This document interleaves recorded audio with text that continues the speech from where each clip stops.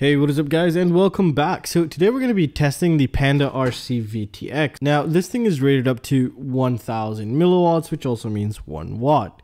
So I'm very curious to see if it'll stack up or even perform as good as that cheap Eachine $14 one to see if it'll actually hit anywhere close to 1000 and if it even goes over 500 milliwatts. Today we're going to be testing this guy out.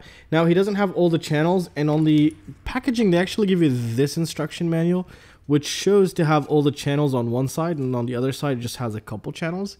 Um, but this is obviously for something else because we don't have three lights. We have a total of four lights and they only go in this orientation and this is exactly it. So we have just a couple channels here and i'll have this guy linked down below so you can go ahead and see the channels it supports but it doesn't support all the channels so keep that in mind. I'll be testing on 5805 that's the closest i got. Here this thing goes by 50 megahertz increments so we're going to be testing the 5800 channel. We'll test the 25 milliwatt 200 milliwatt 400 800 and 100 milliwatt on this vtx now they do provide you with two cables and they are both silicone so they're really proper. Also they provided mmcx to a uh, dipolar antenna. It does have mmcx port and one button to change channels. All right so let's go ahead and take a look at how we would actually connect this. So let's bring in our one of the connectors. It's really nice to give us two connectors here. And like I mentioned they are silicone. Now the bottommost wire is the voltage in. It takes battery voltage 7 to 28 volts which is really nice. Second one up is ground. As you can tell, they are already color coded and correctly color coded. Here we have RX, which means you can change the channels through the uh, smart port here and it does have an audio input on the same wire so you can use audio also. 5 volt out and another ground and as well as the video so it does even have a 5 volt regulator for you. Now what's really nice about this is the whole VTX is a nice fat heatsink like every aspect of it here. And they even give you the option to add some sort of a fan if you wanted to. They already have pre-drilled holes as you can see here. And um, it's all metal except the bottom part yeah, there's a little, yeah, good thing I touched that. So if you touch it here, you'll see that just this is plastic, as you can tell. And we could easily remove that out if we wanted to. And the top is just metal, acting as a heatsink. And we also have five LEDs here to give us the status. Now, changing the channel was a bit annoying, but I got it right. So I have everything pretty much set up right now at 25 milliwatts. So we're going to go ahead and test it. Now, if you're wondering what am I using to test, I'm using the Immersion RC RF meter. I'll have link down below. It seems to be pretty good. I'm still waiting on my more expensive equipment to actually see if this is really calibrated. And I'm just taking their word for it right now. Now, also some people asking me, how am I powering up these VTXs?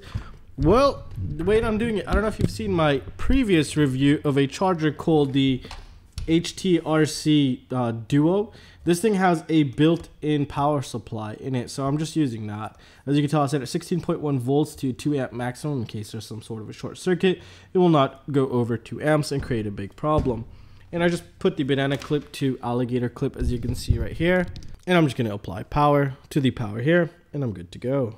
Alright, so right now I'm about to apply power. It should be on 5805, and here we're listening on uh, 58 well, 5800 megahertz and here it's on 5805 megahertz because that's the closest channel that I can get to this uh, uh, meter here because it goes by 50 meter increments. So now I'm gonna apply power.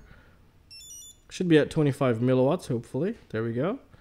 Oh it jumped to 100 so this is fresh and it's a really cold VTX I'm making sure of this. So right now it's broadcasting at 25 milliwatts.